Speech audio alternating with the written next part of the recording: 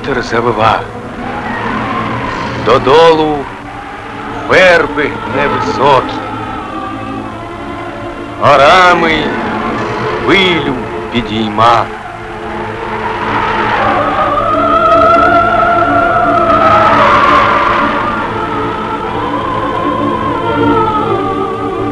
Горами хвилю підійма. І блідний місяць на ту пору, і блідний місяць на ту пору. Із хмари де-де виглядав.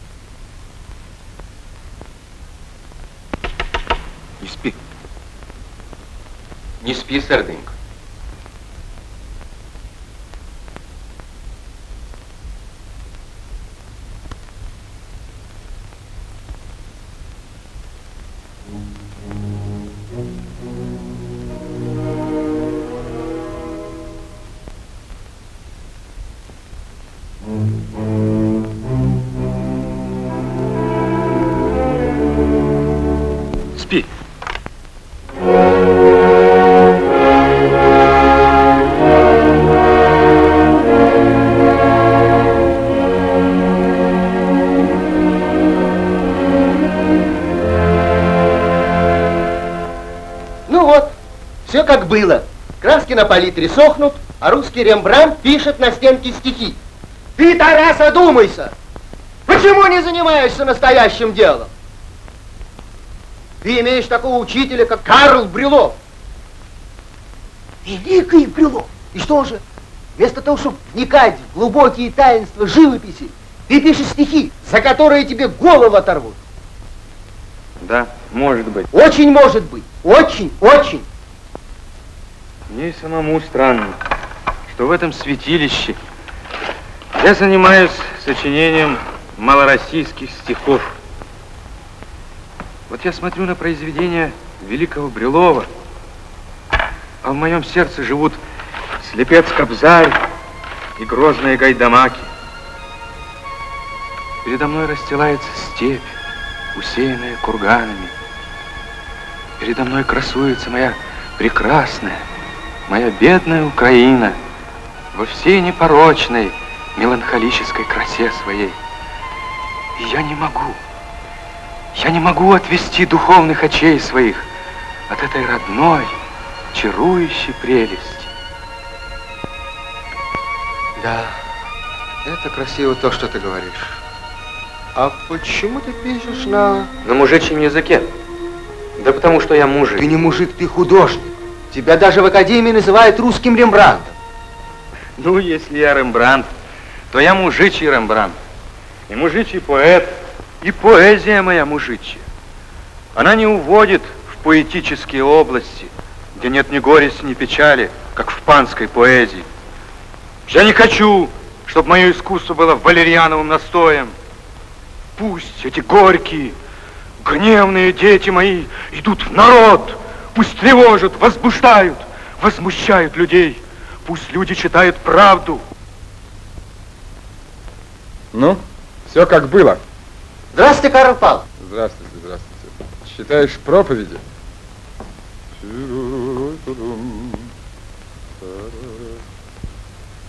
Кисть. Да, сейчас.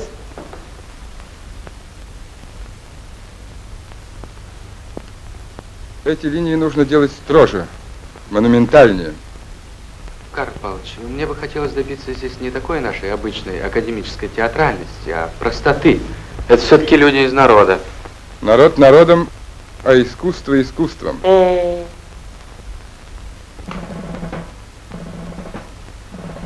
Господа, Николь, Карл Павлович, разрешите представить, это мой друг, прапорщик Николай Момбели. господа, убит Лермонтов.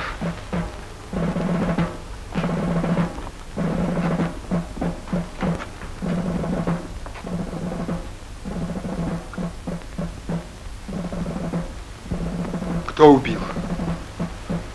Не знаю. Опять какой-нибудь Дантес.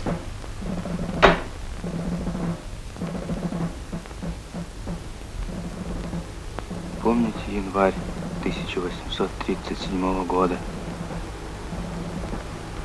Пуля Дантеса убила нашего Пушкина. Мы с Макритским были у него на квартире, рисовали его в гробу. Было тихо-тихо. И вот тогда, в тишине, в первый раз зазвучали в моей душе стихи. Тяжко мне, душно. Быстрее, быстрее кончать академию на Украину. Подальше от этих блестящих палат, пышных церквей, секретных казематов, крепости Петра и Павла.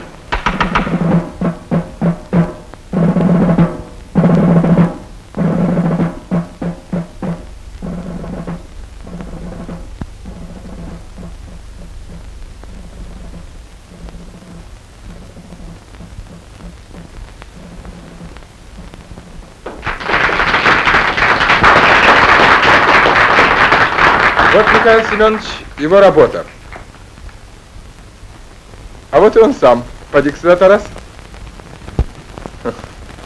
Знакомься. Михаил Щепкин. Кобзарь, хлопче, сразу заворожив меня. Думи мої, думи мої, лихо мені з вами, на що стали на папері сумними рядами.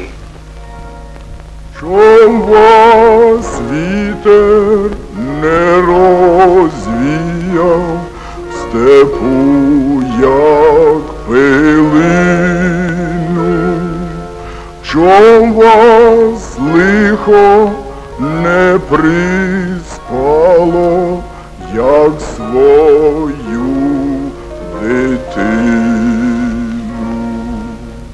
Привітай же, моя ненько, моя Україно, моїх діток нерозумних, як свою дитину. Это твои стихи, Тарас? Мои. Я завидую тебе, сынку. Ты увидишь нашу Украину. Не забывай нас. Помни, что в Москве, в драматической труппе, есть такая небольшая квадратная фигура, которая любит тебя и ждет твоих новых стихов. Не забывай нас, Тарас. Ну, пиши стихи, если уж ты никак не можешь обойтись без них. Но только помни о живописи, помни академию, работай ежедневно. Не забывай нас, голубчик Тарас. И кто тебя будет без меня ругать? Прощайте, мои друзья. Прощайте. Прощайте, мои дорогие. Прощай, Академия. Прощай, Петербург. Прощай, Нева. Здравствуй, старый Днепро. Здравствуй,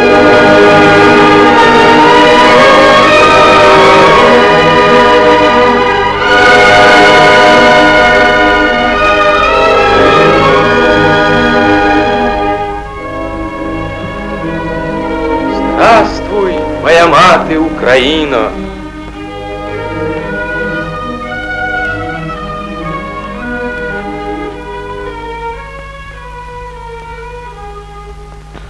Я скажу ему так. Тарас Григорьевич, мы знаем ваши стихи. Мы услышали в них голос нашего многострадального народа. Мы увидели в них его горькие слезы и веру вашу в счастье и силу народную. Хорошо. И еще ему скажу. Спасибо, батька, за ваши стихи. Спасибо, Тарас Григорьевич. Панове, это он.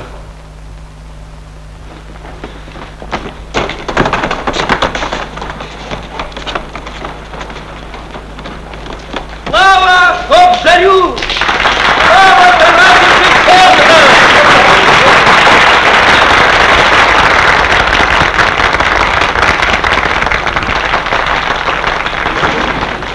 Удивительно, господин Кулиш, как скружил всем головы этот Шевченко.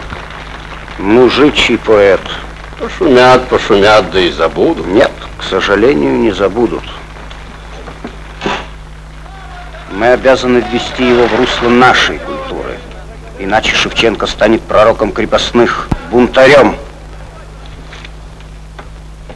Дорогой Тарас Григорьевич, мы знаем ваши стихи.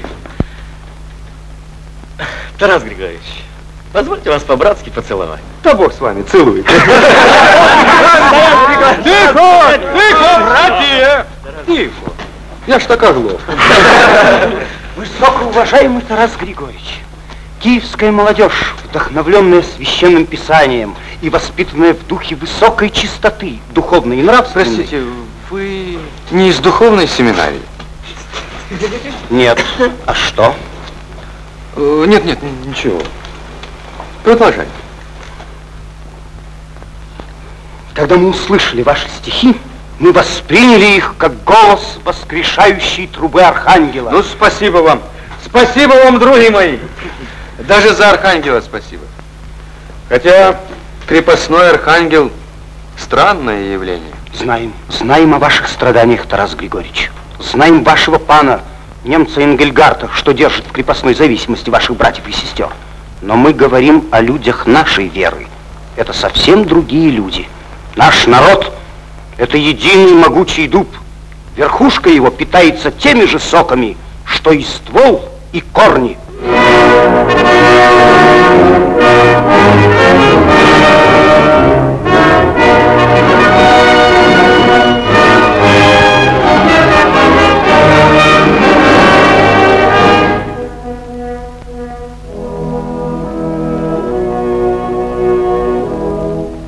Тарас Григорьевич, примите от чистого сердца.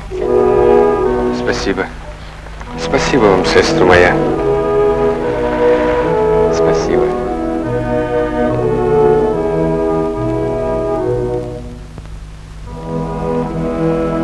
Вот ваш кобзарь, Тарас Григорьевич. Жена хранит его вместе с реликвиями нашего рода. Порог этой комнаты не переступал ни один человек чужой крови. Здесь слава Украины. Вот клиноды Гетмана Выговского, сабля Мазепы, пернач полковника Барабаша, знамена, взятые у католиков. Это сказка, будто и не было Богдана, что привязал нас к Москве. А кто был? Иезуиты. Папа Римский. Нет, панове, золотого века на Украине еще не было. Был. Будет, Нет, был. да? Какая чудесная песня. Слышите? Какой-то он странный, этот наш кобзарь. То молчал, а то вдруг... Пан Кулиш то молчал, а то начал спорить с Лисичкой. Ей-богу, его слова о золотом веке просто странные. Это все проклятый Петербург. Но я надеюсь на благотворное влияние наших земляков. В особенности на ваш, пан Лукашевич. Мое? Пожалуйста. Чьи это поля? Мои. Когда-то под булавой моих предков был миллион посполитых. Теперь осталось 25 тысяч. Крепостных? Крепостных. Наши крепостные – это почти свободные люди. Почти. А почему бы вам, если это так, не освободить крестьян не почти, а совсем? Допустим, я их освобожу. А что дальше? Они же попадут в рабство к полякам? Попаду. Пойдут в наймиты к шинкарям? Пойдут. Это что ли лучше? Они у нас живут, как у Христа за базой. Истинная правда. Я даже говорю, Володечке, по-добрососедски. Зачем ты их так балуешь? Они же могут вообразить Бог знает что и натворить черт знает что. Пускай попробуют. Э, Поживите у нас, Тарас Григорьевич, у пана Лукашевича. Вы увидите, что здесь живут совсем не так, как в Петербурге. Благодарю вас.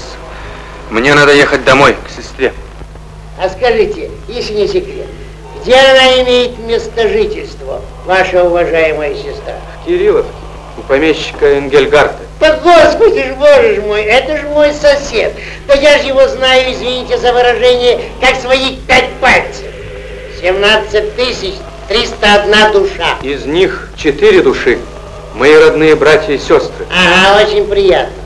То есть, конечно, это неприятно, но все от Бога. Да? Да, да, да. Я уверена, что вы полюбите пана Лукашевича. Он справедливый и добрый человек. А где ж, а где ж мой казачок? Витько! Витько! Наверное, спит. Витько!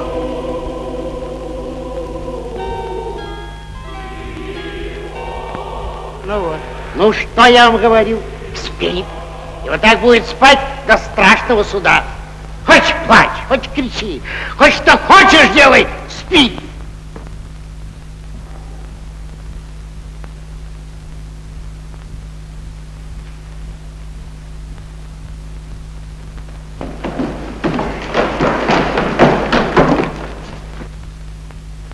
Что с вами, Тарас Григорьевич? Вам не стыдно, Евдоким Аполлоныч, вы же знаете. Боже мой, простите, Тарас Григорьевич, простите. Вы понимаете, забыл, что вы тоже когда-то были, извините за выражение, казачком и сидели на сундуке в передней. Ну, забыл. А я не забыл. И никогда не забуду. Слышите вы, душевладелец, кат. Мне стыдно за вас. Вы испортили все. И чего вам стыдно за меня? Не понимаю. Ну, чего ты смеешься, Володечка? Он же обругал меня, этот наш кобзарь. Ты ему ж по правилу надо по морде дать. Кобзарь, подумаешь, кобзарь.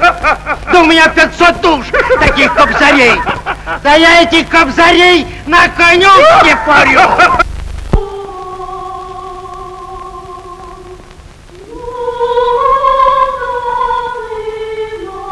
Да ведь я тебе говорю, за суку двух женщин просит у нашего пана. Ведь сука-то аголицкая. Ну и он согласился. Возьми. Смилуйся, возьми. А у тебя деньги есть? Нет, ни шелех. Под хрест святой не шелех. Собирайся. Не губи, смилуйся, не губи. Отвяжись! Пес английский. Сука, пан. Вижу. Возьми. Спасибо, пан. Чтоб ноги твоей здесь не было. Да благословит тебя Бог, пан добрый. Ерина, сестры мои, не узнаешь? Ой, Тарас, братик мой, Тарас!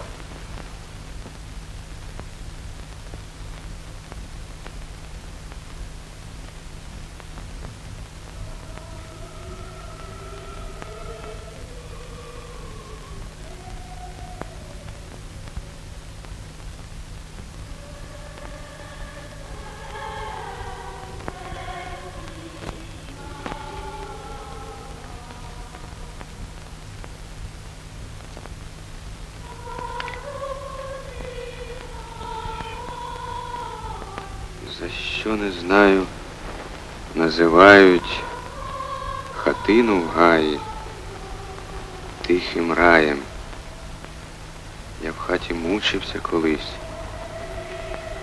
Мої там сльози пролились. Найперші сльози.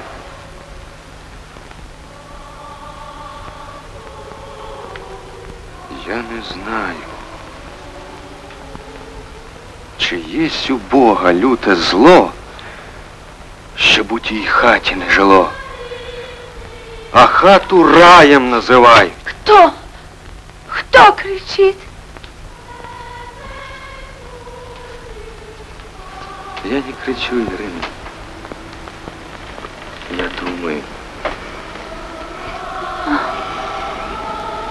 Я вспоминаю. Спи, сестра, спи. Спи. У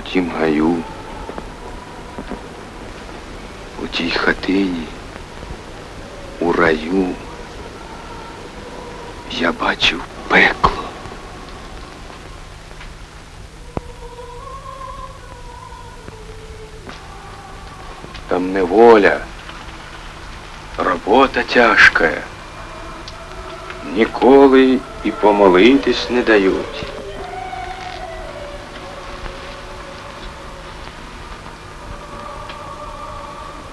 Там матір добрую мою, ще молодую могилу, нужда та праця положила. Там батько, плачучи з дітьми, малі були і голі, не витерпів лихої долі, умер на панщі.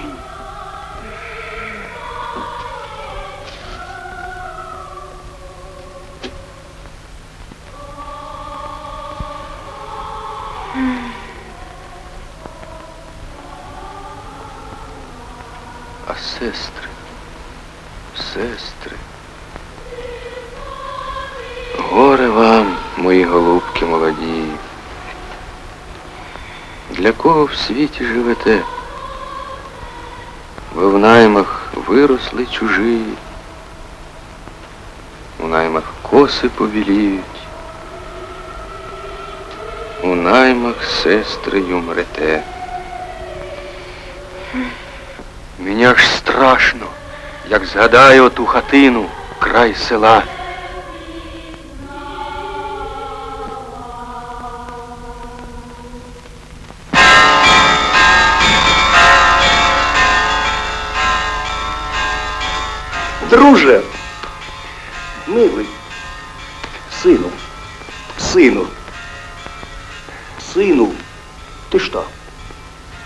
Что покинул Украину? Я прозрел, батька. Прозрел? Как это прозрел? Как прозревают слепые, Михаил Семенович. Там такое же пекло, такое же горе, как и везде. Да. Я часто езжу по России. На юге и на севере одно и то же. Спина барская, голова царская, душа. Я не забуду это лето. Украина, тихий рай. Чего я там не насмотрелся, чего не услыхал. Горе, бедность, унижение, смерть. Просвещенное панство пьянствует, играет в карты, играет днем и ночью, играет в страстной четверг и пятницу, играет на свадьбах и на крестинах, а в перерывах сечет крестьян. Секут все, паны, пани, питпанки, секут управляющие, секут экономы, секут полицейские, секут по суду и без суда. И все-таки я счастлив, что был там, что я увидел свой народ. Теперь у меня не такие глаза, как были в детстве. Нет, батько, он не тихий и не меланхоличный наш народ. В нем зреет... Мишенька, к тебе гость. Красоты такой, глаз не оторвать. Идет. Идет. Простите за беспокойство, я на минуту. Не посмел покинуть Москвы, не пожав вам на прощание руку. Спасибо, спасибо, голубчик. Спасибо. Герцен Спасибо. велел вам кланяться. Спасибо. Говорит, что из рассказа вашего о крепостной актрисе хочет пьесу смастерить. И даже название придумал. «Сорока-воровка». Ну вот, вот, вот и хорошо, вот, вот и приятно. Будет что сыграть в бенефис. А то играем такое, всякую мерзость, язык не ворочается. Знакомьтесь, мой старый друг Тарас. Шевченко? Шевченко. Николай Александрович Спешнев. Романтическая фигура. Бродил по заграницам, участвовал в гражданской войне. Полноте, Михаил Семенович. Мне рассказывал о вас мой приятель Момбели. Николенька? Да-да. Надолго в Москве? Ну, во всяком случае, дней 10 погостит у меня. Нет, батька, не могу. Не Надо ехать. меньше. Отпуск просрочен. Поедемте вместе. Путь долгий, а вдвоем веселей.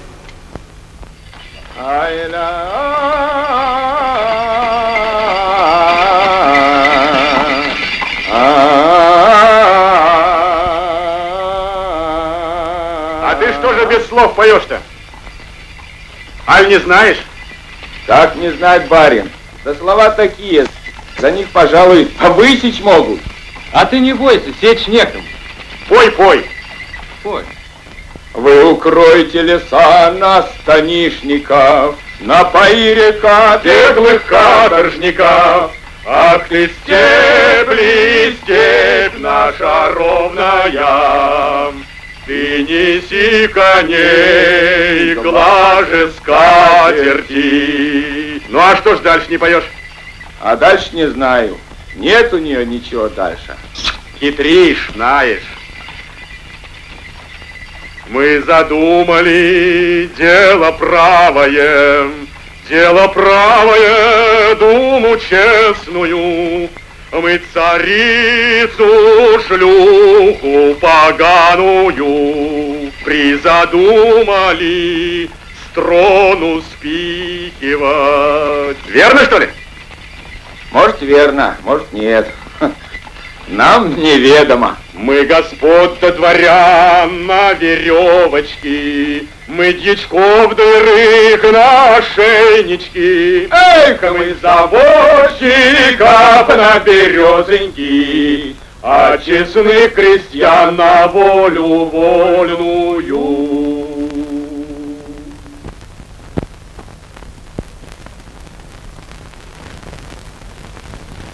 Не надо вздыхать, Момбели. Сколько лет вздыхает Россия? А что меняется?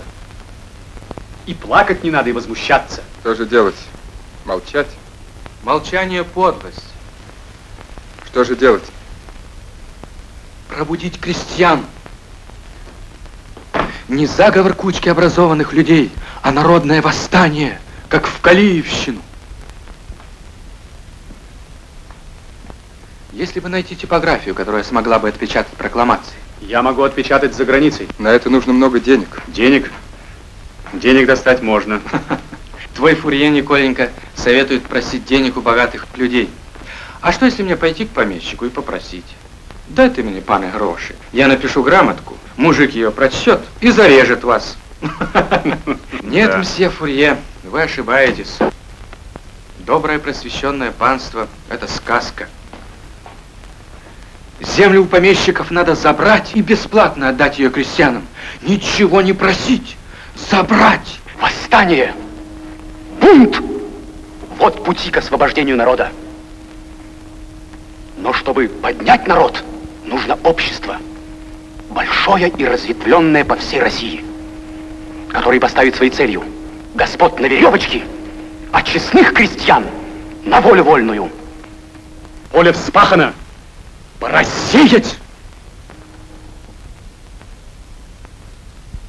Тарас, ты был недавно на Украине. Там нет такой группы людей, хотя бы как наша. Должна быть. Киевский университет в 1838 году указом этого Его Величества дрессированного медведя был закрыт. Группа студентов пошла на каторгу. Мне рассказывали о студенте Канарском, который руководил кружками. Все это теперь разгромлено. А что, если мне определиться в Киевский университет? Скажем, на должность рисовального учителя. Ты не закончил академию? Через два месяца я буду иметь диплом. И уж чем-чем, а учителем-то меня возьмут? Попробуй. Попробуйте.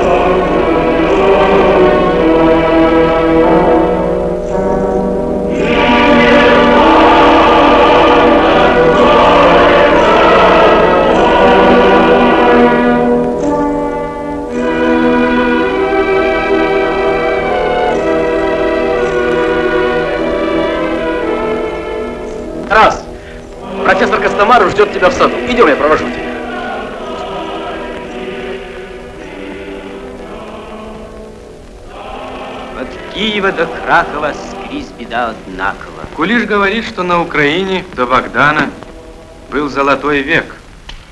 Откуда? Из тьмы веков разные руки держали это оружие. Золотой век. Эти угрюмые свидетели прошедшего говорят о другом, о деспотизме и рабстве, о холопах и магнатах.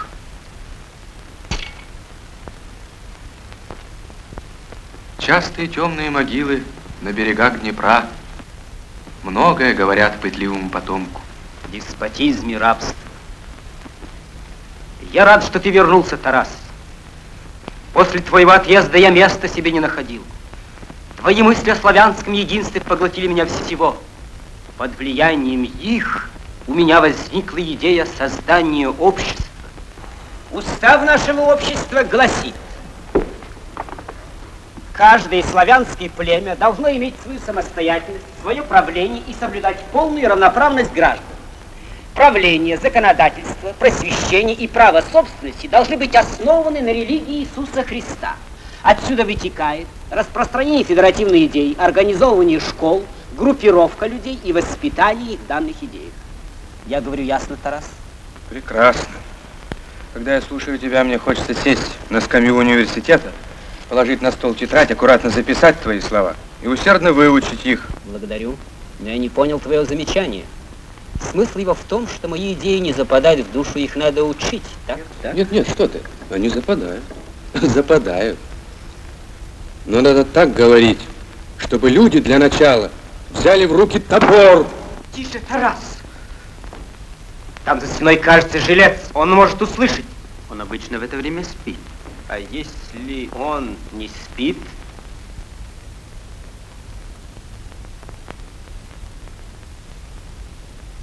Продолжайте, Николай Иванович. Топор, топор. Ты говоришь, Тарас Григорьевич, о насилии. А я подчеркиваю, что общество наше основано на религии Иисуса Христа. Именно утвердив его святое учение, мы освободим славян. Каждый член общества будет носить кольцо с выгравированными словами «Кирилл и Мефодий». На печати общества будет девиз «Уразумейте истину, и истина освободит вас». Не могу слушать.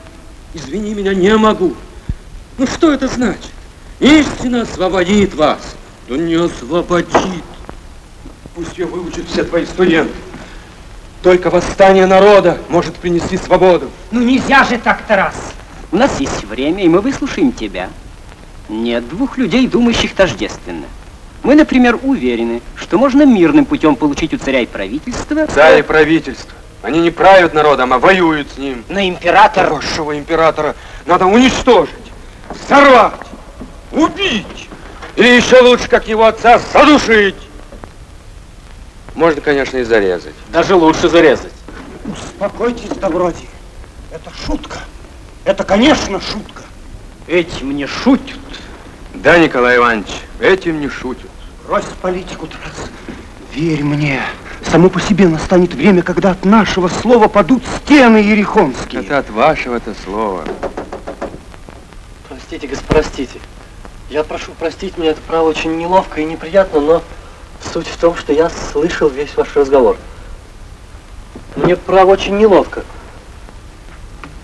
Но, господа, я, я разделяю ваши взгляды. Даже самые крайние. Даже ваши, Тарас Григорьевич. Я исповедую ту же веру. Но я был одинок. Господа, сегодня я нашел единомышленников. Я прошу простить меня, но я имею честь просить вас принять меня в число членов вашего тайного общества. Я понимаю, вам нужно обсудить мою просьбу. Я прошу простить меня. Я удаляюсь. Простите, господа.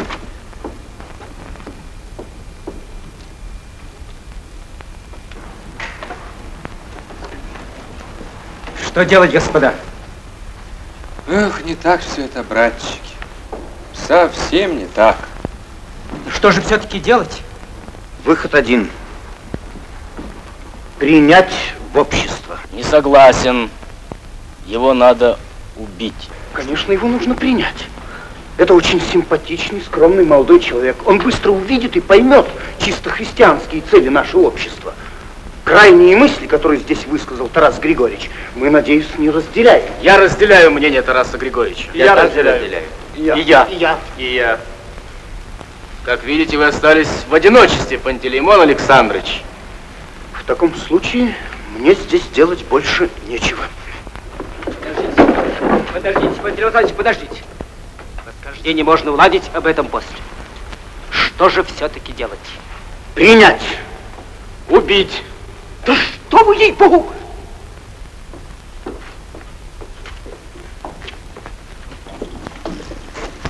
Молодой человек, пожалуйста, сюда.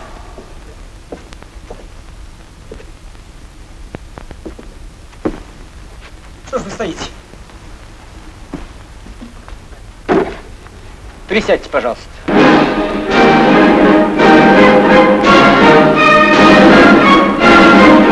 Напрасно ты это все затеял.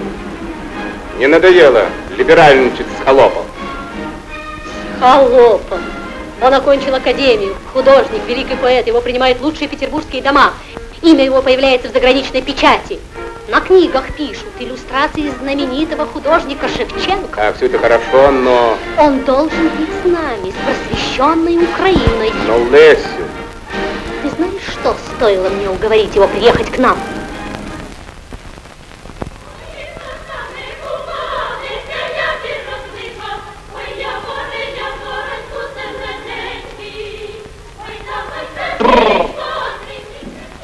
Что это?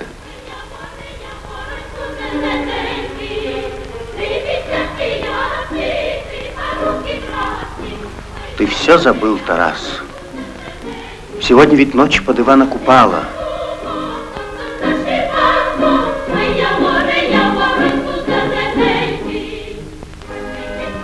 Огонь! Огонь!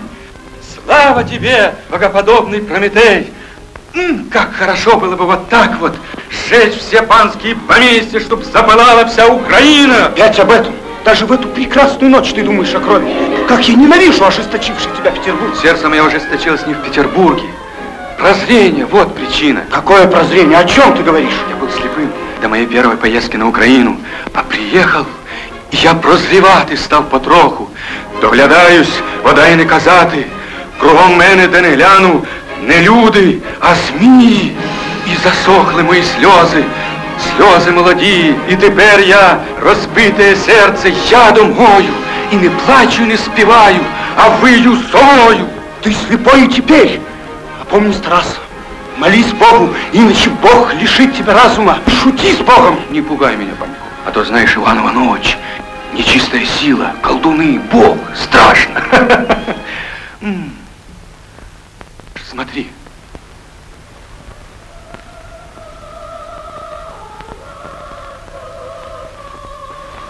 Кто-нибудь? Ага, внук умирает.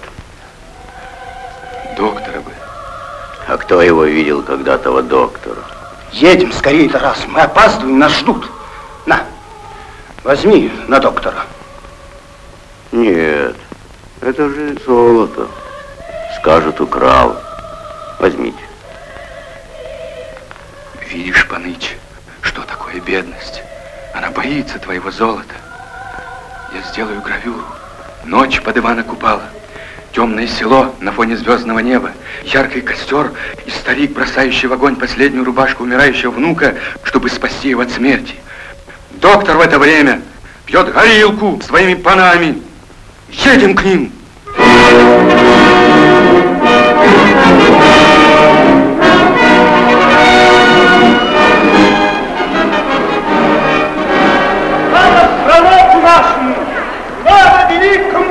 Я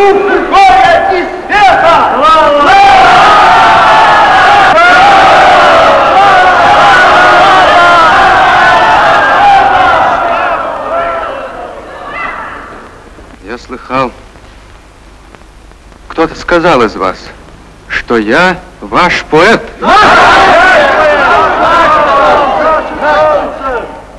Хорошо. Я ваш поэт. Слушайте.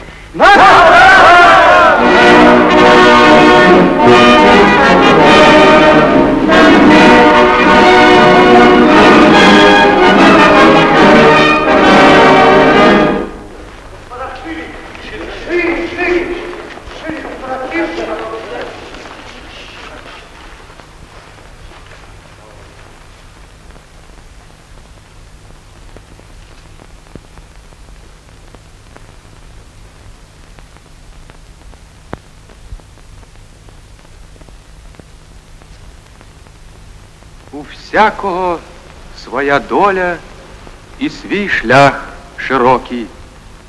Той мурує, той руйнує, той неситим оком за край світа зазирає. Чи нема країни, щоб загарбать і з собою взять у домовину? Той тузами обирає свата в його хаті, а той нишком у куточку гострить ніж на брата. А той тихий та тверезий, богобоязливий, як кішечка підкрадеться, вижде нещасливий у тебе час, та й запустить пазурі в печінки. І не благай, не вимолять ні діти, ні жінка. А той щедрий та розкішний, все храми мурує. Та отечество так любить, так за ним підкує, так із його сердешного кров, як воду точить. А братія мовчить собі, витріщивши очі, як ягнята. Нехай каже, може, так і треба, так і треба, бо немає Господа на небі, а ви в єрмі падаєте та якогось раю на тім світі благаєте. Немає, немає! Вон из моего дома! Холоп! Твои стихи надо предать сожжению и вечному проклятию! Сами затравите его! Вон! Вон отсюда! Твои мужичьи стихи не нужны никому! А де ж твої думи, рожеві квіти, Доглядані, смілі, викохані діти? Кому ти їх, друже, кому передав? Чи може навіки в серці поховав? О, не ховай, брате, розсип їх, розкидай, зійдуть і ростимуть, і у люди вийдуть. Государь император! Испорченность Шевченко была мною замечена при первых шагах его на поприще малороссийской литературы. Сей мужицкий поэт осмелился обвинять правительство в каких-то бедах и несчастьях народа. Он дерзнул направить свое мерзкое перо против личности вашего императорского величества и государни императрицы. Пресечь!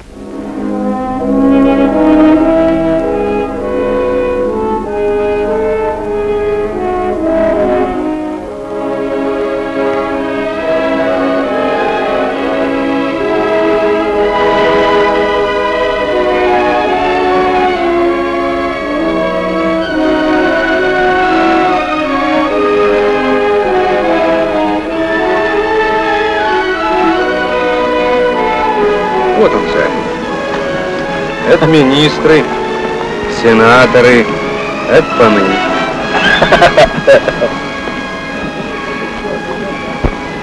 Это мы, мужики, народ.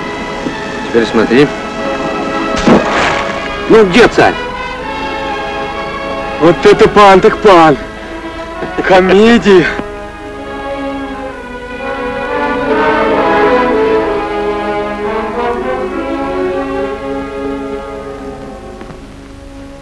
Григорьевич, я к вам. На вас донос. Я пришел, чтобы вас предупредить. Смотрите.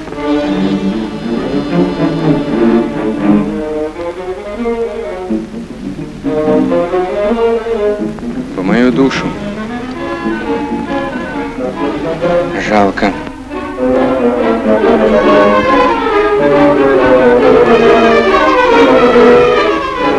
Все, что у вас есть такое недозволенное, немедленно уничтожьте.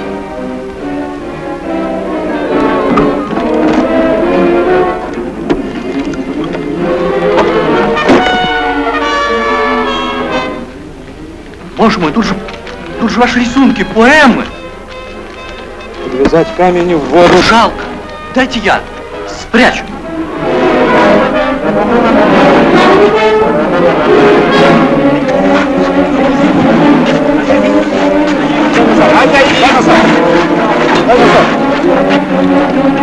Художник Санкт-Петербургской академии Шевченко? Люди добрые! Это Шевченко!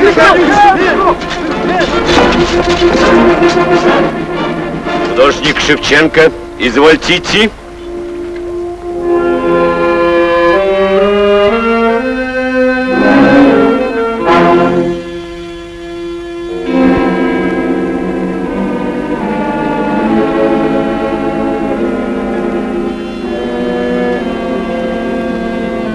Меня? Пожалуйста. Возьмите.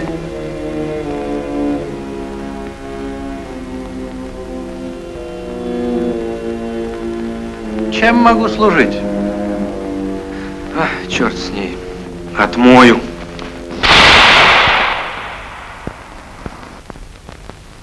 Преступники схвачены и заключены в секретную тюрьму Алексеевского Равелина. И слава Господу, Лесечка, слава Господу. Что вы там не говорите? А все-таки он великий украинский поэт. Великий. Ей-богу, Лесечка, я не понимаю. Ну что в нем великого? Вот именно. И что в нем украинского? Вот именно неизвестно. Его послание к землякам дышит ненавистью ко всему нашему дворянству. Дышит. Он стал писать о кавказских горцах, о чехах. Сует Пугачева. О, Господи. Он до мозга костей пропитан идеями господ Белинских. Поховайте та вставайте, кайдани порвіте, і вражою злою кров'ю, Панской кровью! ою окропіте. Они во всем виноваты! Огня им под крышу! Огня! Эх,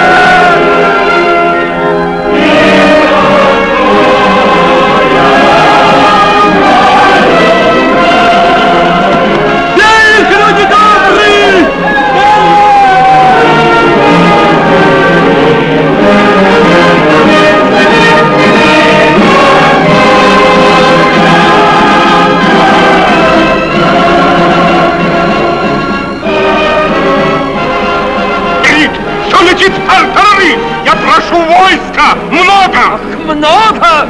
Меня вся губерния в огне!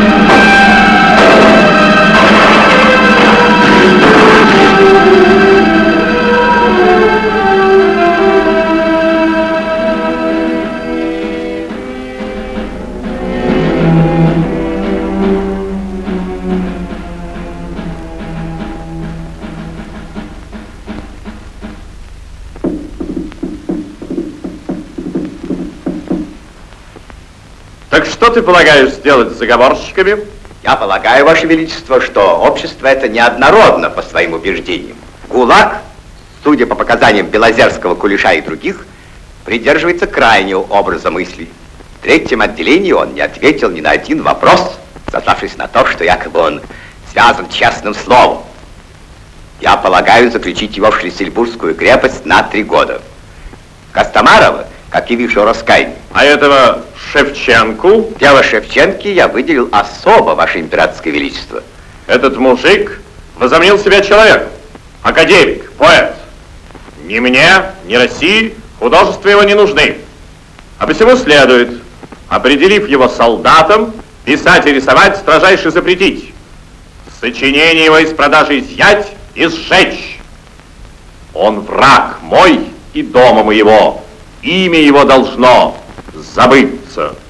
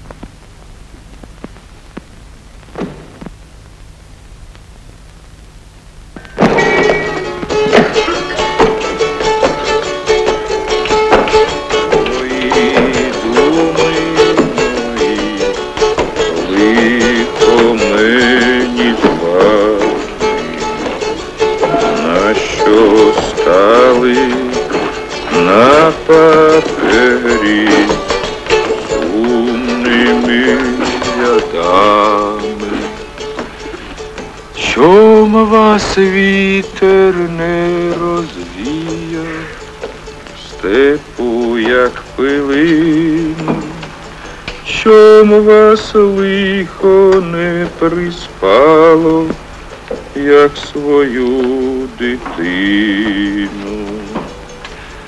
Что это за песня, хлопче? А кто ее знает, поют люди.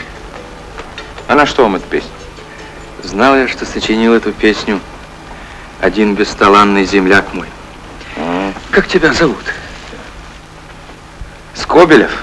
Скобелев. Да. А я думал, ты с Украины. Я не Скобелев. Я крепостной беглый с Херсонщины. От пана бежал. И люди говорили, и в песнях поется. Воля, воля.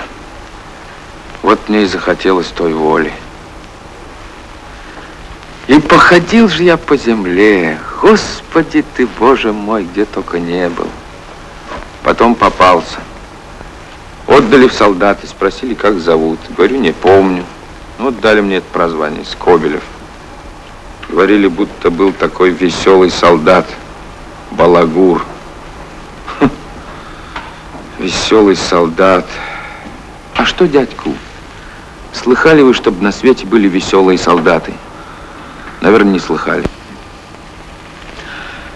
А, убегу. Здесь только ящерицы могут жить. А я человек, я убегу. Солдат, 25 лет служит. 25. 25. Убегу. Убегу, дождусь весны, соберу денег и убегу. Что там?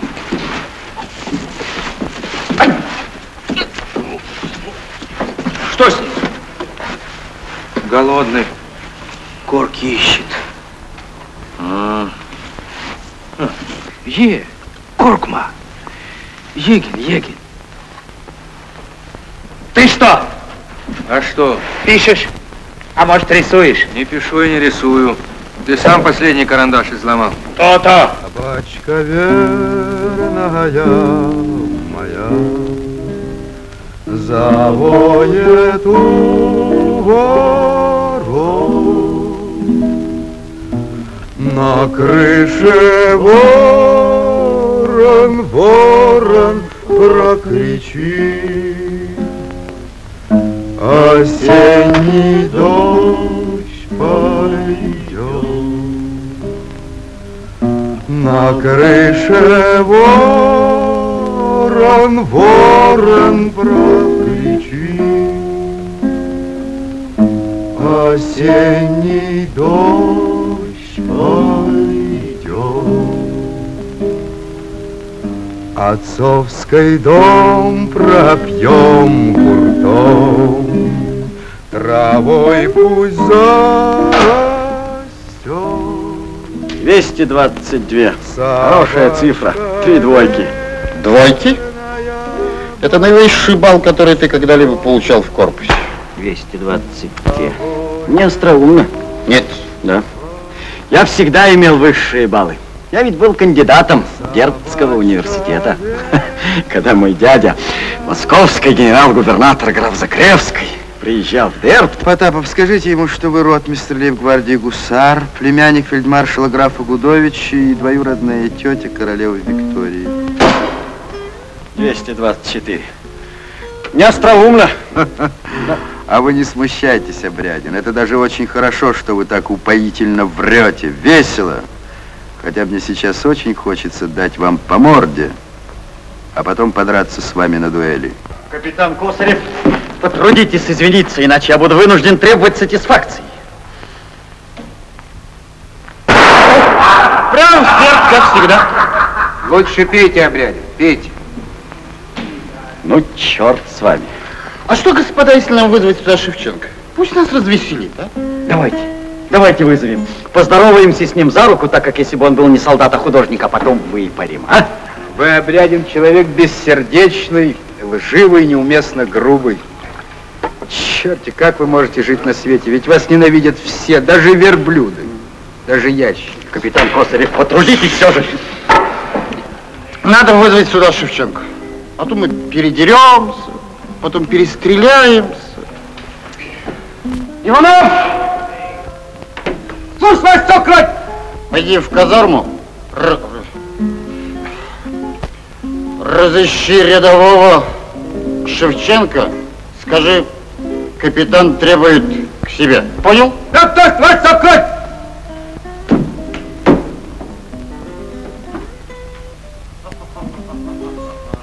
А, художник Санкт-Петербургской академии Шевченко. Очень рад вас видеть. Прошу. Садитесь. Да ты давай попросту, без чинов, без званий, выпьем, поговорим. Представь себе, что ты не солдат, а офицер. Или лучше сказать, статский. Статский рябчик. Садись, садись, Шевченко. Потапов, налейте ему водки. Пей, художник. Правда, мы простые армейские офицеры, а тебе по плечу графы, да князья. Ну ты как друг, как однокашник. Пей. Пей.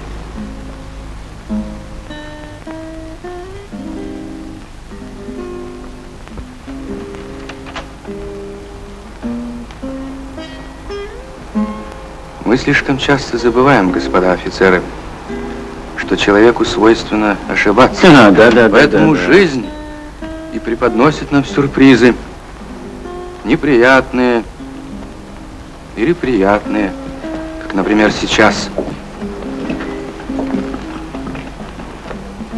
Когда по воле злой судьбы я попал в этот богоспасаемый форт, мне казалось, что в этом сборище оторванных от мира и цивилизации людей находятся худшие экземпляры распространенного на Руси офицерского сословия. Да ты что? Мне казалось, что в этой безнадежной тоске, в этом страшном одиночестве, этой незамкнутой тюрьмы не могут жить хорошие люди. Мне казалось, что живущие здесь потеряли всякое представление о прекрасном, что им все равно, что видеть, что обонять, с кем разговаривать. Мне казалось, что водка, карты и оскорбление беззащитных людей, одетых в солдатскую форму, единственная радость их жизни. Простите меня, господа, такими людьми я считал вас. Считал. Я счастлив, что ошибся. Вы оказались не такими. И это ваше счастье, господа. Я был уверен, что вы вызвали меня для того, чтобы от скуки поиздеваться надо мной, пользуясь моим положением конфирмированного солдата. Я рад, что ошибся, что вы не пропили чувство совести и чести, не проиграли в карты человеческое отношение к людям. Я готов выпить эту водку, которую вы так честно, так искренне и от души предложили мне. Я ее выпью за ваших матерей, которые в муках произвели вас на свет и возложили на вас самые светлые свои надежды.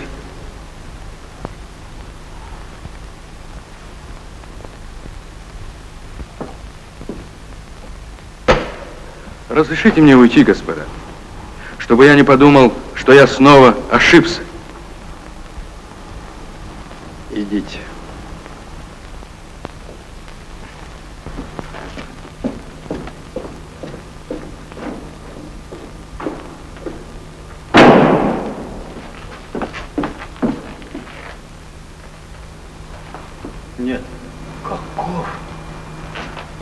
Слышали, господа, что он здесь говорил?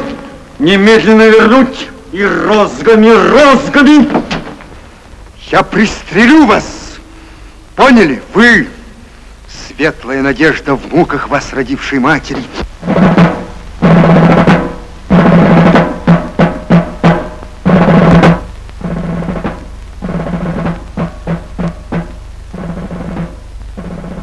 Тяни носок! Тяни! Тяни! Тяни носок! Карандашей бумаги в карманах нет? Никак нет. Вывернуть карманы! Живо! Ты смотри у меня, сочинитель. Чего волком смотришь? Устал? Ничего, завтра воскресенье, отдохнешь. Репета?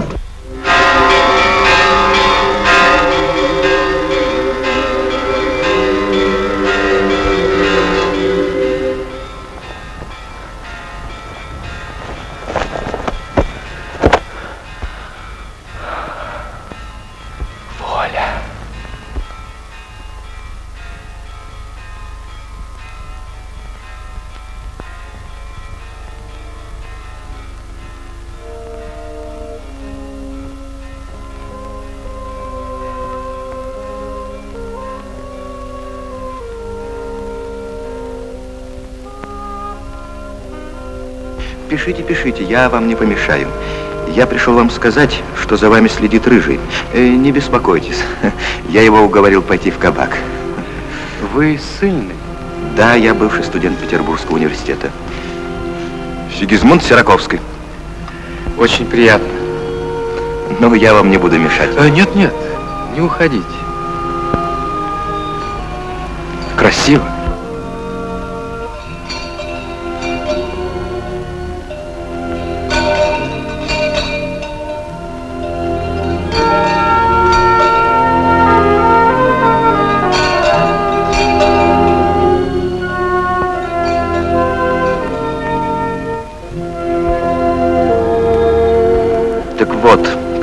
Император решил, что мне, как математику, лучше всего высчитывать ать-2, и мне пришлось облачиться в мундир, я задумал изучить солдатскую науку до всех тонкостях и довести знание этого дела до совершенства.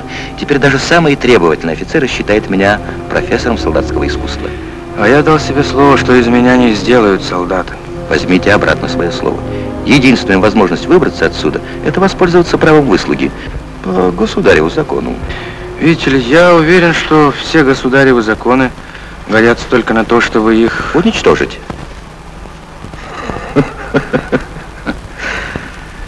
Пойдемте к морю.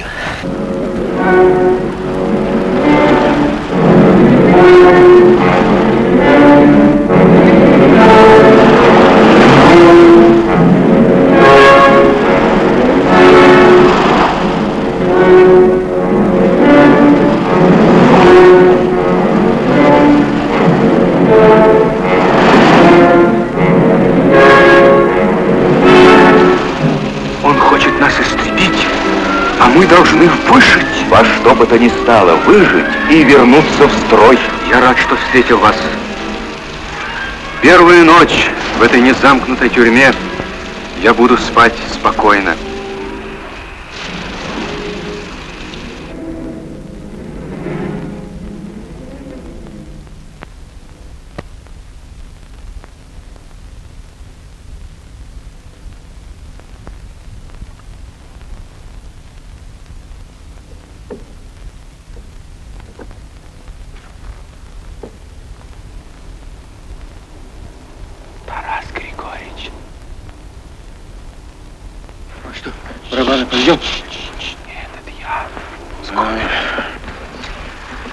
Ну, я в денщиках теперь, у штабс-капитана Обрядина. Сегодня утром прибирал, вижу пакет мне на 10 рублей серебром. Вот. Ну, что ж ты хочешь делать? Как что? Тихо. Деньги мои.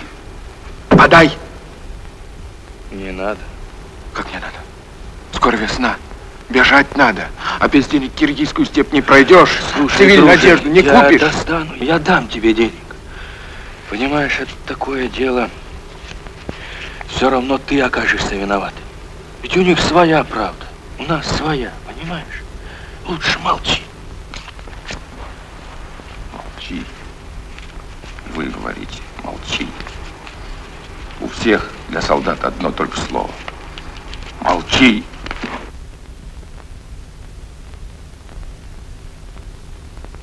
Завтра жалование. Напьюсь. Напьюсь. Скобелев! Скобелев! Скобелев!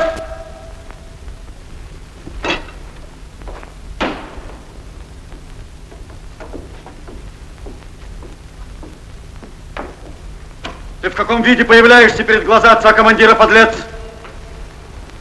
Так что разрешите спросить, ваше высокоблагородие, что означает слово «подлец»? Ты что, белины объелся? Что с ним такое? А ну что тебе, братец? Подлец это ругательство, от слова подлый, нечестный, коварный. Спасибо, ваше высокородие, запомню. Разрешите идти? А со стола кто будет убирать? Да ты что, пьян, скотина? Выпил бы, ваше высокоблагородие. Да не на что, денег нет. А у вас и жалование. Вы по почте получаете. А солдату взять откуда? Что это за дурацкие разговоры? Шел вон! Сейчас, сейчас, ваше высокоблагородие, сейчас. Только я вот штабс-капитану фокус покажу. Сейчас. Скобелеву 10 рублей серебром. Вон, вон отсюда, а то! Что, а то? Как называется бесчестный человек? Подлец!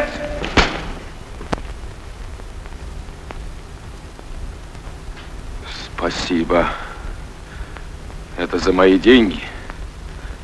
Думаете, квиты? Нет. Полагается сдать. В результате произведенного следствия суд чести офицеров предлагает штабс-капитану Обрядину подать в отставку. Слушаюсь.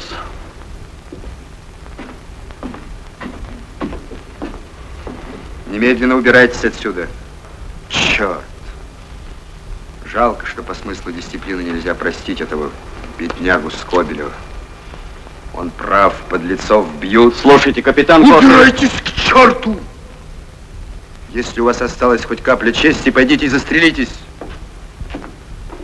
Хотя такие не стреляются. Ну, вон отсюда! Эх, жалко Скобелева.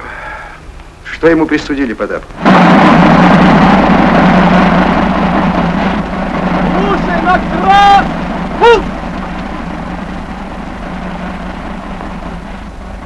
Рядового Скобелева за оскорбление офицера конфирмация определяет наказать шпицрутанами через тысячу человек три раза. Ваше благородие, последняя просьба перед смертью. Ради Христа. Уберите Тарас Григорьевич из строя. Вы же его знаете. Он что-нибудь сделает, а потом его как меня. Ваше высокоблагородие. Ради Христа. Раздать шпицрутены!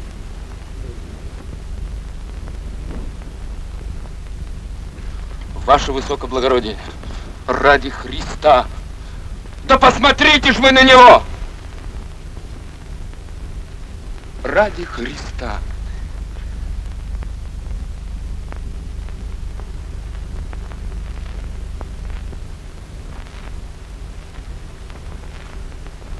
Рядовой Шевченко, слушай мою команду. Шаг вперед. Шагом. Марш! Сираковской! Возьмите Шевченко, уходите отсюда, идите разговаривать. Слушаем. Идем. Замкнись! Репете, братцы! Репете! Помахать прутьями! Приготовиться значит, чтобы ударить как следует. Кто ударит оплошно, сам прогуляется по зеленой улице. Лично особить! Репете! Репете! Идем, Тарас. Подальше от этого страшного места. Идем. Слышишь?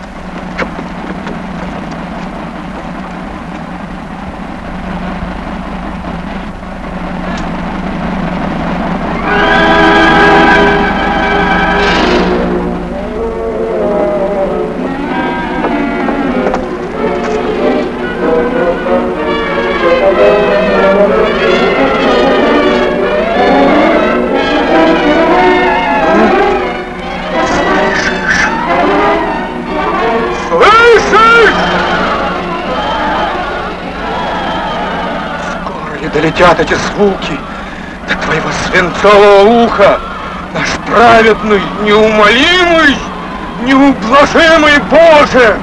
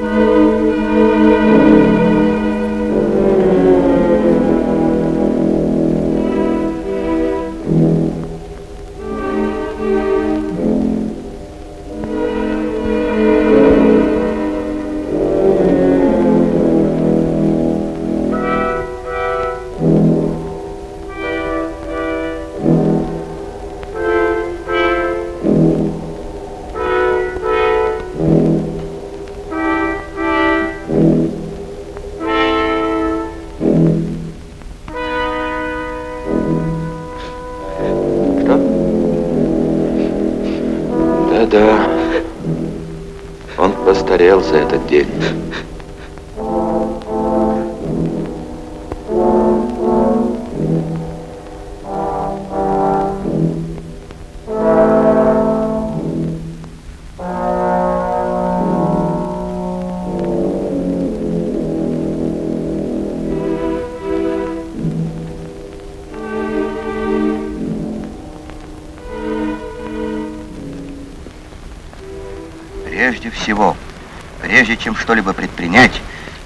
Позволить себе думать о важном и неважном, прежде всего это варварство надо отменить. О чем ты говоришь? О телесных наказаниях.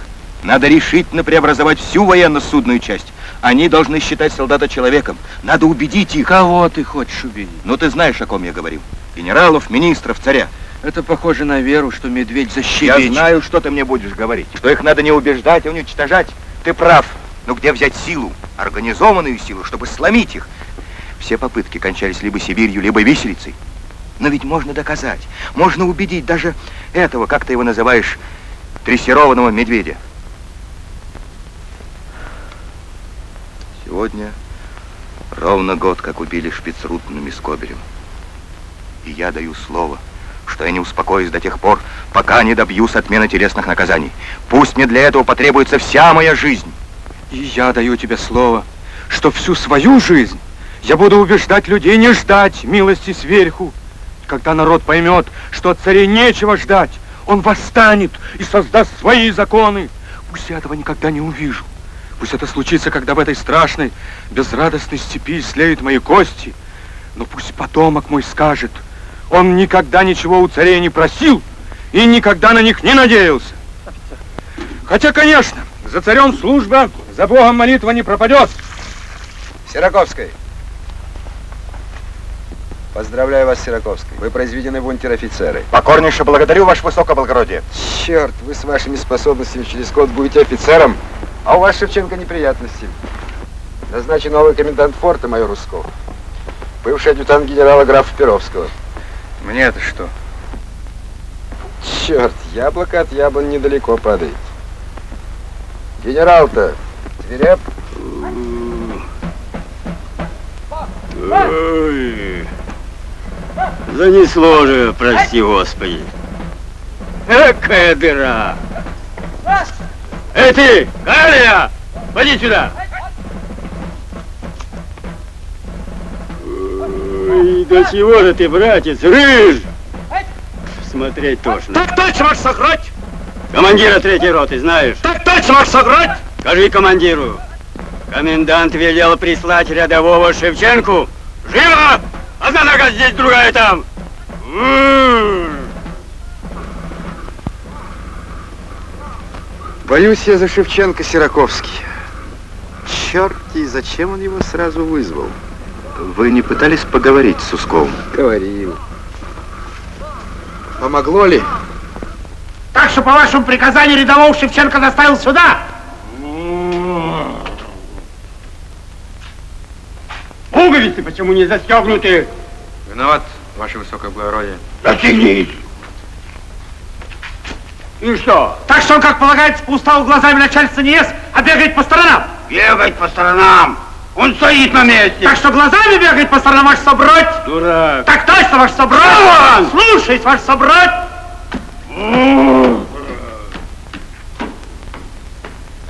Вольно.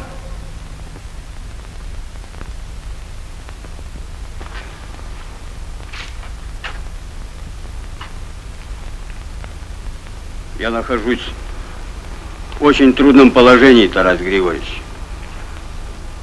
Я знаю о вас, все. Агафья Емельяновна, поди-ка сюда, сделай милость.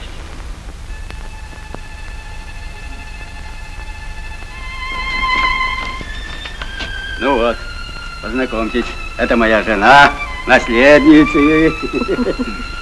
А это Агашенька, художник Санкт-Петербургской академии. Бывший художник.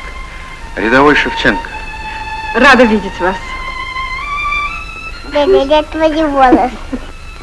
Медведь заврал. Какой медведь? Какой медведь? Дрессированный. Наденька, пойдем, Наташенька. Дело у нас. Мы привезли вам посылку. Вот она. Я думаю, вам лучше вскрыть ее здесь. Может быть, там что-нибудь, что не полагается иметь солдату. Тогда можно будет хранить ее у нас. Конечно, Агата Николаевна. Ну, располагайтесь поудобнее. Благодарю вас, ваше высокоблагородие. Меня звать Ираклий Александрович. Вот. Пойдем, Агат. Вы не смущайтесь. Это у нас на всех вас. Ну что ты все шумишь да шумишь? Распаковывайте.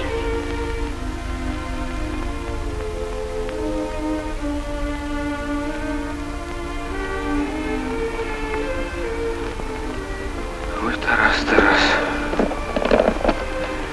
Что ж так часто тебе хочется плакать? Что взволновало тебя? Разве мало на Руси честных и добрых людей? А ты плачешь. Старый-старый, лысый, больной дури.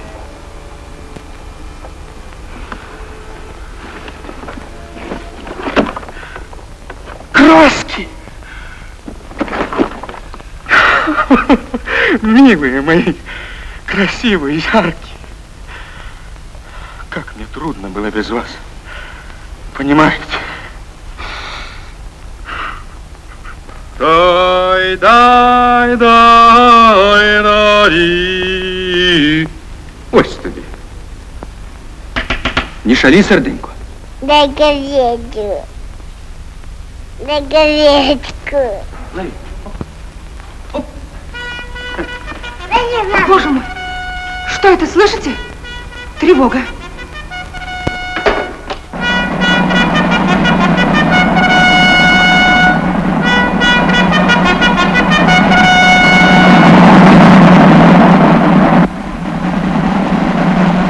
Восплачьте, люди! Восплачь христолюбивое воинство! Возле почил всемилостивейший император Всероссийский Николай Павлович!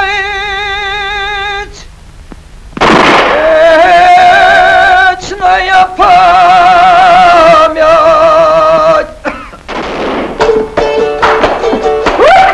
Хорошо! Хорошо! Чему ты радуешься, друже? Всему смерти тирана, предстоящей амнистии по случаю вошествия на престол. Тому, наконец, что наследник, говорят, очень добрый и мягкий человек.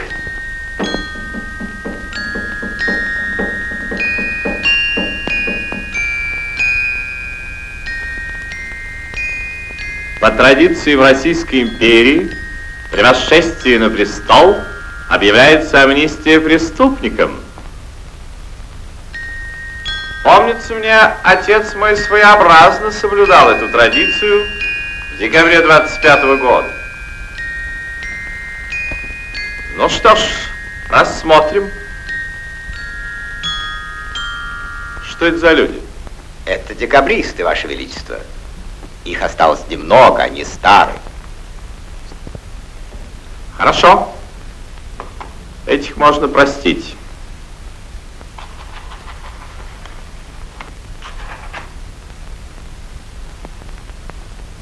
Художник Санкт-Петербургской академии Шевченко. По каким же традициям подлежит амнистии этот? Злейший враг нашего дома, оскорбивший мою мать, призывавший к бунту мужиков. По каким традициям я должен его миловать? Такие, как он, потом становятся рылеевыми. Ему амнистии нет, нет и нет. Тебя не могли вычеркнуть. Просто забыли. Я рад, что еду и исправлю эту ошибку. К черту грусть. Пройдет совсем немного времени, и я, бедный армейский прапорщик, приеду в Петербург и увижу тебя академиком живописи, всеми почитаемого, окруженного учениками. Да-да, а на этой вербе будут щебетать медведи. Ты не веришь, что будешь освобожден? Верю. Иначе я бы умер. А во все остальное не верится. Что меня случайно забыли? Не верю. Что буду художником? Не верю. Восемь лет не упражнений. Из виртуоза могут сделать кабацкого балалайшника. Нет, о живописи мне думать нечего. Я думаю посвятить себя безраздельно гравюре акватинта. Аква это очень кстати. Выпьем? Наливай остаток водки. А может, не надо? Стоит ли в часы разлуки туманить мозги алкоголем?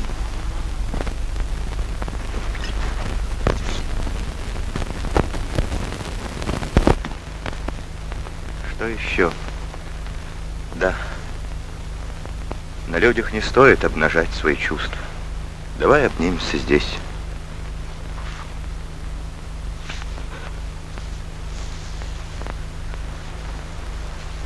Что еще? Да. Пусть она напоминает мне о моем долге. И не спорь со мной, Тарас. Ты меня во многом убедил, но этой реформы я добьюсь.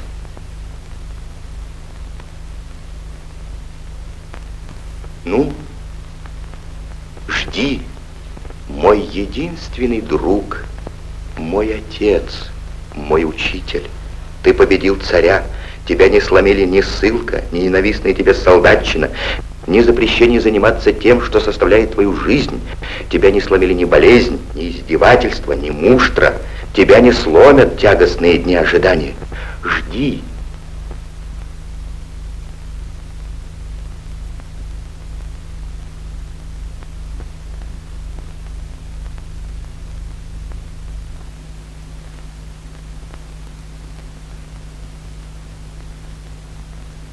Прапорщик Сираковской? К сожалению, не слыхал. Я недавно из Новопетровского укрепления. А, Очевидно, чисто случайно Шевченко не попал в список амнистированных. наш всемилостивейший государь никого не забывает из своих верноподданных. Простите, вы господин Кулиш? Да. Вы были арестованы вместе с Шевченко. Это была трагическая ошибка, которая сразу же была исправлена покойным государем. Шевченке же было высочайше предоставлено право выслуги. И никто не виноват, если он по ленности или отсутствию усердия не воспользовался этим правом. И потом я не понимаю, с каких это пор поляки стали интересоваться судьбами украинцев. Тише, тише, тише, тише. Вы можете не волноваться, господин Кулеш. Вашей судьбой никогда не заинтересуются ни поляки, ни русские. Не смею надеяться их братья-украинцы. Простите, я имею честь говорить с господином Чернышевским? Да. Чем могу служить? Я пришел говорить с вами об участи поэта Шевченко. Простите, вы Сираковской? Сираковской? Очень, очень рад. Николай Александрович, садитесь. Садитесь, голубчик. Спасибо. Садитесь. Спасибо. Ну, как Тарас Григорьевич, давно ли вы его видели? Как его здоровье? Постарел. Постарел. Но ссылка не сломила Тараса. Вы не знакомы с Добролюбовым? Знакомьтесь? Нет. А это Сигизмунд э, Игнатьевич. Игнатьевич. Сираковский. Здравствуйте, здравствуйте. Здравствуйте. Ну как Шевченко, здоров ли он? Очень постарел. Но ссылка не сломила его. Да-да, Тарас остался непримиримым. Нравственные силы его не сломлены. И это называется царствование доброго государя. Одного из самых светлых людей России одели в солдатскую шинель, запретили писать и рисовать, и теперь ждут, пока он не погибнет в неизвестности. Мы обязаны вырвать его из солдатчины. Я только что был у Кулеша, но он... Напрасно утруждали себя. Еще покойный Белинский сказал об этом Кулеше. Свинья, которая годна только на сало. Да, но пока только толстые хлопочут об освобождении Тараса. Это не совсем так. Некрасов говорил с Тургеневым, он обещал помочь. Да-да, но этого мало. Кроме Тургенева и Федора Толстого, надо, чтобы за это дело взялся еще один Толстой. Лев Николаевич, молодой писатель. Поговорите с ним, Добролюб. Я сегодня же его повидаю. Надо, чтобы освобождением Шевченко занялись все, кто имеет хоть сколько-нибудь влияния в обществе. Это особенно важно, потому что народ знает и любит его. Верит ему. Да, он поэт совершенно народный. Он вышел из народа, жил в народе. И не только мыслью, но и обстоятельствами жизни своей он кровно и крепко с ним связан. Мне кажется, что для освобождения Шевченко мы должны также всячески содействовать распространению его поэзии. Да, вашу статью, Николай Александрович, о Кобзаре Шевченко, я полагаю напечатать в ближайшем же номере. Я думаю также поместить несколько стихотворений Шевченко в приложении к этой статье. Очень правильная мысль. Ну, Тарас, теперь ты будешь освобожден. Ay kızlarım katarım sen seni kimsenin digisin hayt vay men işin bitsin ay vay Ay kızlarım katarım sen seni kimsenin digisin hayt vay men işin bitsin ay vay Tuzak kursam o kırgın Ну-ну. Э, друже, ты должен остаться верен натуре. Откуда здесь дерево? Я очень хочу, чтобы было, как на Украине. А то у нас пески, степь. Плохо. Офицер. Здорово, ребят. Здравствуйте, отцы. А то, брат, сегодня веселый. Веселый, сестричка, веселый.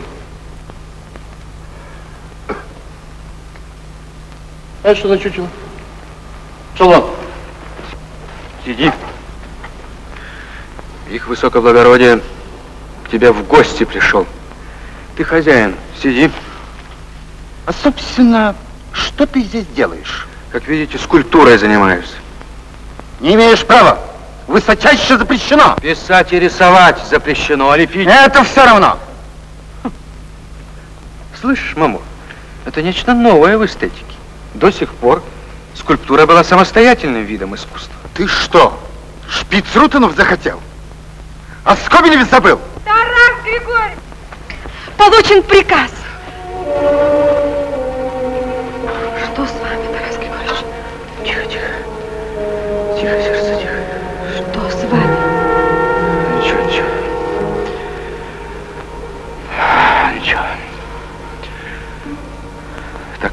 Приказе?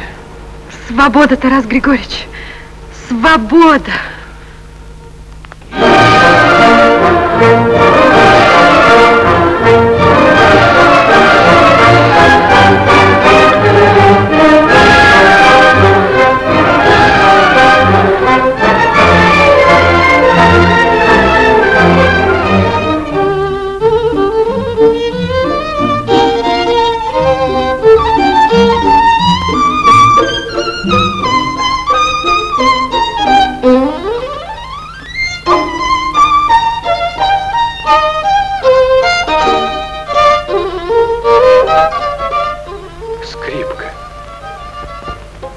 Настоящая скрипка.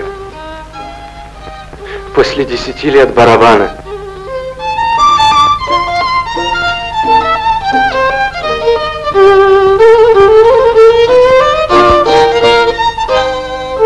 Кто этот музыкант? Бог его знает. Кажется, вольноотпущенный. Паганини. Крепостной Паганини. А ты чего на палубе делаешь? То же, что и вы. Машине кто? Помощник. Ванька. Нет, Иван Иванович.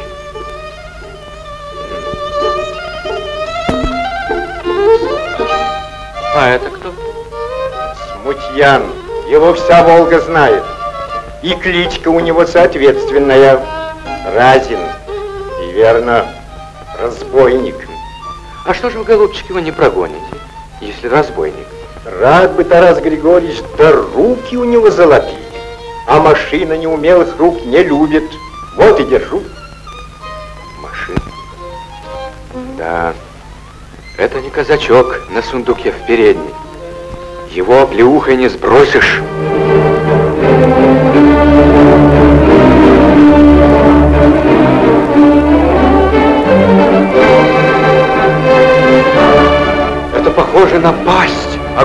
Огромного глухоревущего чудовища, готового проглотить. Кого? Конечно, не вас. И не меня.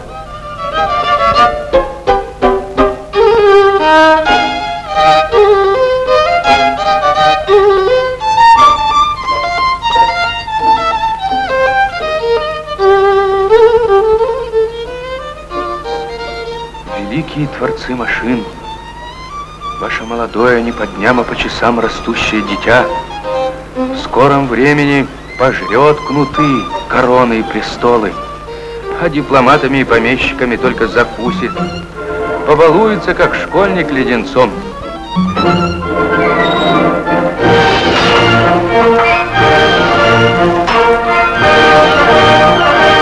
Мое пророчество, несомненно,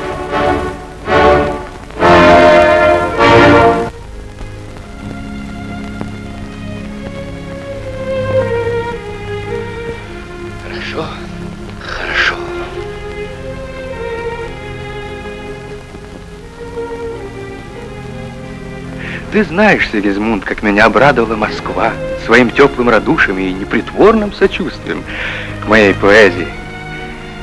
Но желание этой встречи трудно себе представить.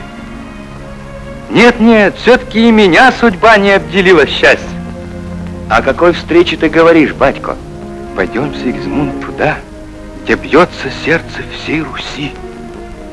К той душе, которая озарила ночь и будет светить через столетия. Пойдем поклонимся великому человеку. Покажите. Каков? Обязательно попросим его прочитать это стихотворение. Представляю, как зазвучат эти гневные слова в его устах. Такие слова могли родиться в сердце, в котором не агарок коптит, а бушует пламя. Агарком, кажется, Кулиш его назвал. Да, он ненавидит Шевченко. А знаете почему? Потому что Шевченко не только поэт, но и борец. Не только. Главное в том, что теперь сама малороссийская нация пробуждается. Вот этого и боится господин Кулиш. Вот почему он с такой злобой относится к глашату этого пробуждения.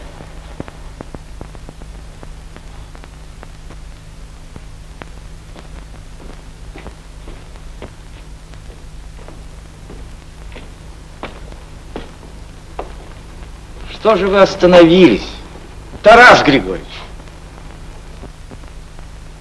Так вот вы какой.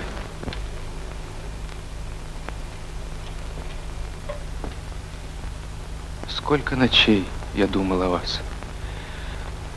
Как помогли вы мне в трудные дни увидеть, да только ли мне, многим в России вы помогли увидеть зорю грядущего дня.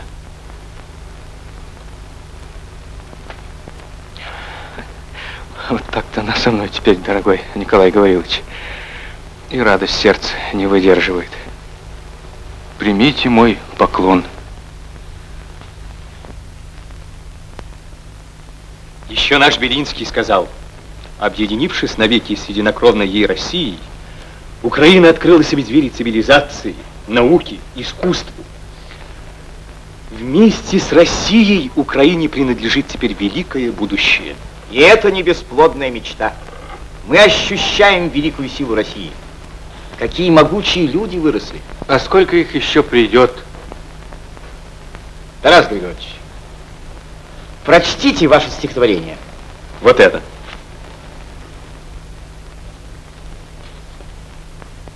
Вы удивлены?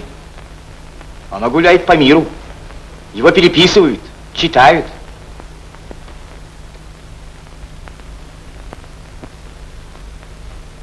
Не жди сподіваної волі.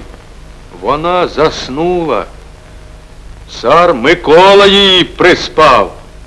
А щоб збудить херенну волю, треба миром, громадою у бух сталить, та добре вигостить сокиру, та й заходиться вже будить. Очень хорошо. Я говорил вам, Николай Гаврилович. Превосходно. Превосходно, Тарас Григорьевич. Молодежь Петербурга хочет встретиться с вами. Мы обещали им. Николай- Пытливый народ на Руси. Жаждет слова правды.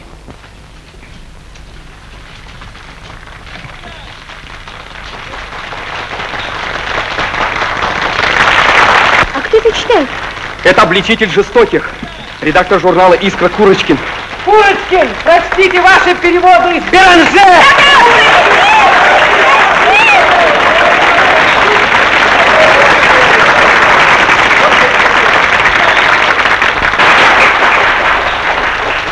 Я вам прочту свои переводы другого великого поэта. За горами горы тучами покрыты, засеяны горем, кровью облиты. Спокон века Прометея там орел карает, что ни день долбит он ребра, сердце разбивает. Разбивает, да не выпьет крови животворной. Вновь и вновь смеется сердце, пьет упорно. И душа не гибнет наша, не слабеет воля. Ненасытный не распашет на дне моря поля, Не скует души бессмертной, не осилит слово.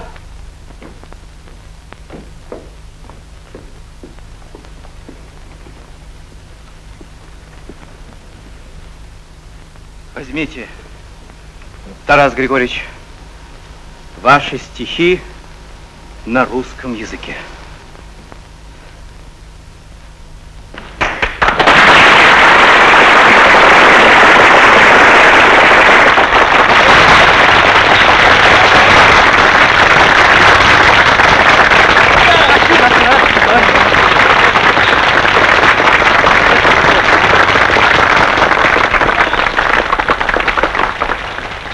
Чем заплачу я вам, други мои искренние?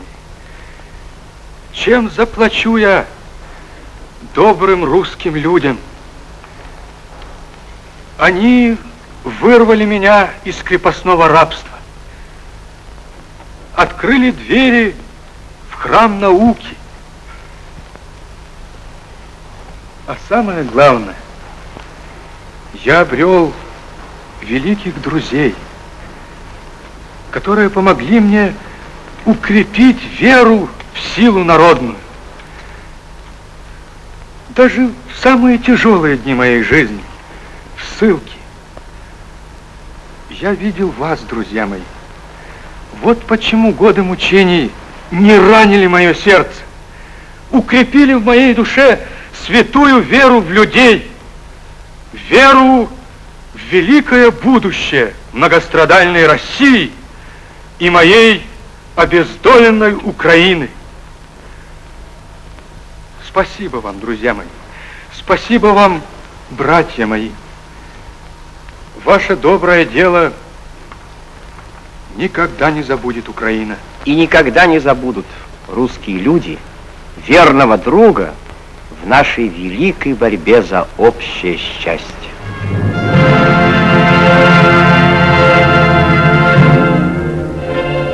І мене в сім'ї великій, в сім'ї вольній, новій, не забудьте пом'янути незлим тихим словом.